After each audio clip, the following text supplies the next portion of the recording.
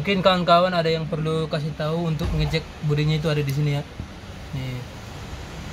Nah itu ya OH 1526 Untuk tempat tidur sopir kita lihat di sini. Masih bersih lumayan lega ya kan kawan ya. Cukup untuk satu. Gimana bah? Cakep nggak busnya ini? Hah? cakep nggak busnya? Wah, mantap. Sete- setelah sekian lama ya akhirnya. Selamat terwujud juga. terwujud juga keinginan mantap ke YouTube Batubara Brother. ya.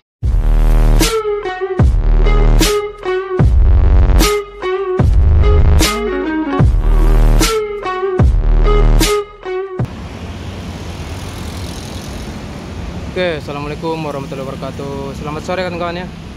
Akhirnya triple tiga udah di Pulau Les Bogor. Tentunya akan kita akan mereview unit sang legendaris ini ya. Pengganti sikuler Edan. Ya, ini baru rilis kemarin dari karoseri Equator kan kawan ya, atau body repair. Mantap banget nih spionnya, spion Wiki RS dipadu dengan warna gold dan hitam ya jadi cakep benar. Ini bagian depan kita lihat standar JB2 ya lampunya juga. Dan ini udah ada apa namanya itu? Lampu strobo bawaan yang X Baladika kan kawan ya. Nah ini kita mulai dulu dari bagian samping kanan. Eh samping kiri ya. Samping kiri bus. Triple tiga. Nah ya. Liverinya kita lihat. Cakep benar. Agak apa ya agak lebar-lebar dia liverinya ya ya kita udah dapat izin dari udah ikan kawan ya untuk meripu di dalam kabin bus. Triple tiga yang baru. Oke kita masuk dari depan dulu. Tuh bagian dashboard. Ini berwarna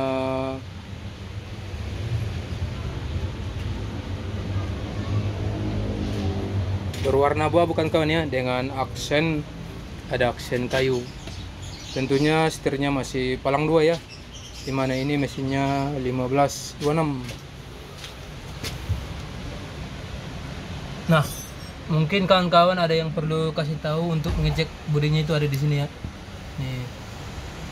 Nah itu ya OH 1526 tentunya ada di bawah jok. Bangku sopir ya oke ini dia bagian bangkunya nih sang legendaris Bogor. Bangkunya aksennya aksen ini kan kan ya aksen kulit. Buatan Aldila. Dan seatnya ini ada berapa ya? Kita hitung dulu. 1 2 3 4 5 6 7 8 9 10 20 40 2 ah, standar kan kan ya? 48 48 seat. Sementara untuk tempat barang ini enggak ada tutupnya ya. Jadi ini bawaan pariwisata Baladika ya. X pariwisata Baladika. Oh ini ada colokan ya. Mungkin buat ngecas HP tapi tidak direkomendasikan untuk mencas apa? Mencas powerbank ya? Bahaya. Ini ada tempat tisu kan kawannya mungkin masih bawaan yang yang pariwisata ya. Nah untuk tempat tidur sopir kita lihat di sini masih bersih lumayan lega ya kan kawan ya? Cukup untuk satu orang. Ini bangku belakangnya atau 2 3 4 5 6 dan ini kulit ya. Jadi kalau AC nyala dia dingin nih enak. Jadi bangkunya beda ini ya. Nih yang ini sama yang ini beda. Warnanya beda. Ini warna krim. Sedangkan ini warna apa nih? Warna coklat ya coklat muda. Bagian loper AC kita lihat ada seperti, biasa kan kawan ya. Bawaan jet bus dan ini untuk pintu bagian belakang.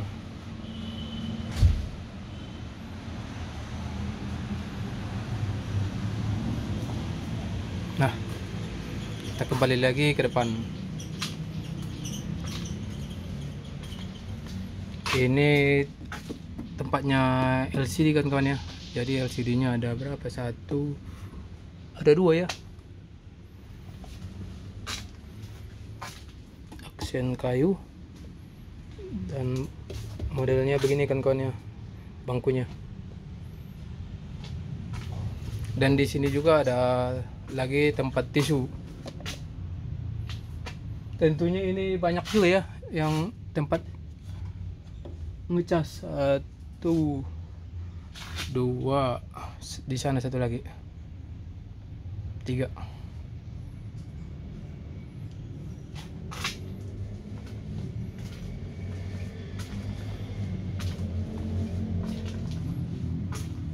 nah di sini ada lagi LCD LCD LG ya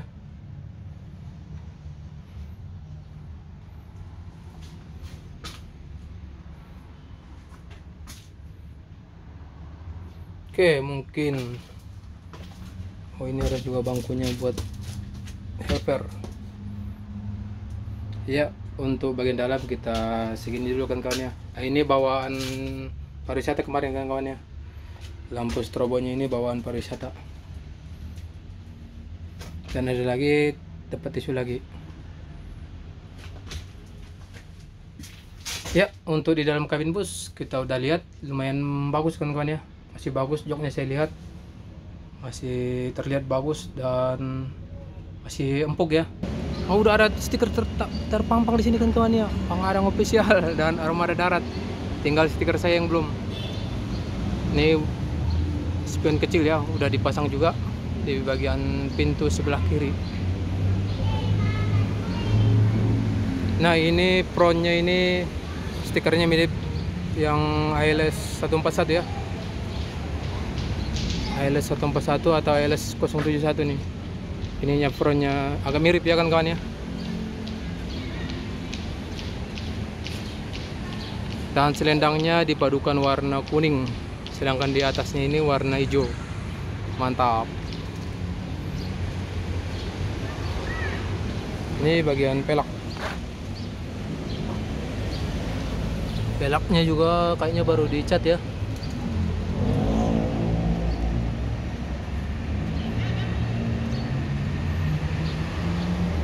Nah, di sini udah ada juga dipasang stikernya nih. Mercedes Benz OH 1526 standar for bus. Standarnya bus ya.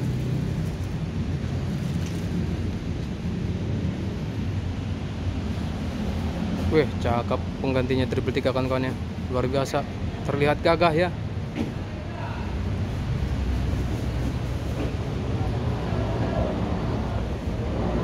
kita mundur ke belakang oh iya ini masih dicek-cek oleh krunya triple tiga kan dicek lagi untuk melihat apa yang perlu diperbaikin ya. Tentunya untuk siap berlintas lagi dari Pulau Bogor kan kawan ya.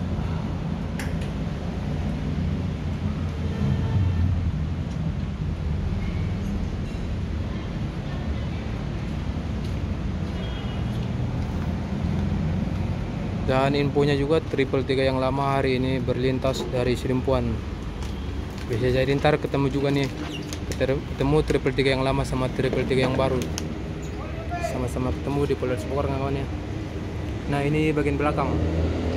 Di sini yang seperti yang kemarin kita lihat videonya ini dominan warna kuning kan kawan ya. Ini jarang nih bus.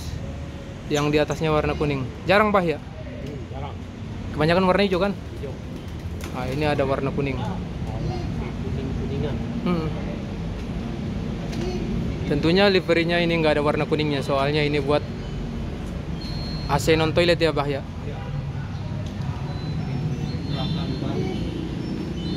Gimana bah? Cakep nggak busnya ini? Hah? Cakep nggak busnya? wah mantap Sete- setelah sekian lama ya akhirnya lama terwujud juga terwujud juga keinginan kita. iya Tapi ada rasa sedih juga sang kuler nggak ada lagi di Bogor ya. oh Udah pensiun lagi sang kuler ya. Habis. Hmm. Ya kan zaman kan kita Oh, harus- ikuti zaman. biar penumpang merasa nyaman ya bah ya Ah, Oke. Ini enak ini kan. apa doanya nih bah nih buat yang baru ini Ini hmm, mudah-mudahan apa nih doanya ntar ke depan doanya sih semoga lancar-lancar dengan selamat-selamat. dengan bus Ah, baru semoga ma- tambah banyak ya tambah banyak Sewanya kan? Ah, jangan terlalu banyak rewel-rewel Ah. lancar pokoknya doa terbaik lah ya. Iya. Baikin baikin. Hah? Oh iya kita lihat lagi ke belakang kawan-kawan ya. Nah ini bagian knalpot ya. Cakep juga knalpotnya dan ini ruang mesin 1526 nah ini udah terpampang ya. Legendaris Bogor di mana kemarin video pertama kita belum ada ya. Sekarang udah dipasang stiker legendaris. Masih legendaris ya? Luar biasa.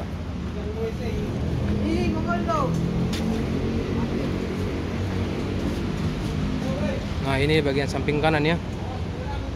Nah tentunya ini ada stikernya sang body repair kan kawan ya Eco atau apa jadi ini busnya kelihatan tinggi ya bodinya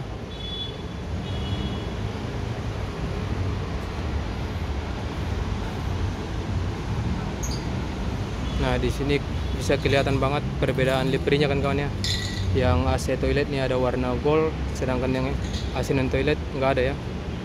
Cuma warna abu-abu. Dan ini 297 infonya berangkat malam ini kan kawan menuju Cililitan. Soalnya akan berlintas besok. Dan ada lagi saya lihat perbedaannya nih ya. Soalnya kan dia ini apa nih liverynya agak besar-besar ya. Jadi ah, ininya nih. Yang ini kita lihat antar kota antar provinsi. Dia nggak di tengah kan kawan ya ada di depan. Kenapa ada di depan? Soalnya kalau ditaruh di sini bentrok dengan livery ya. Soalnya dia ini liverynya agak ke atas. Jadi bisa dibilang itu tiap body repair itu beda konsep liverynya kan kawan ya. Walaupun kelihatan sama cuman beda dia konsepnya. Nah ini beda juga sama ininya nih ya. Stiker antar lintas Sumateranya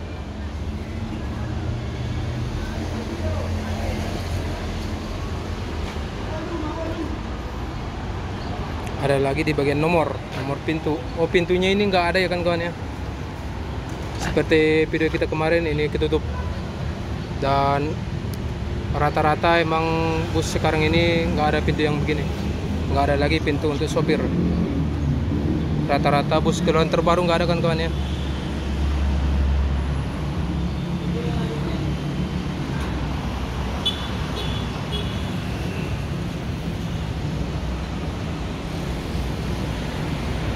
Oke, mungkin sampai sini review kita untuk sang legendaris. Legendaris Bogor. Alhamdulillah akhirnya berubah juga atau diremajakan juga. Dan Bogor ternyata dapat juga ya. Dan semoga aja ke depannya ada lagi untuk peremajaan untuk pemain Bogor kan kawan ya. Ya mungkin sampai sini video kita untuk review wireless triple 3 Bila ada kata-kata yang salah mohon dimaafkan Sekian dulu. Wassalamualaikum warahmatullahi wabarakatuh. The Legend. Semonggo